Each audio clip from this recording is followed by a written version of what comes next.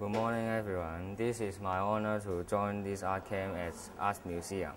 And I think Andy Warhol is a very creative artist, and he creates a lot of pop popular art in at the past.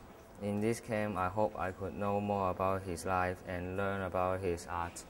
I think his artwork is amazing. In his artwork, he, he used a lot of and colorful image to express him, himself. And I hope I could get an unforgettable experience after this game. Thank you.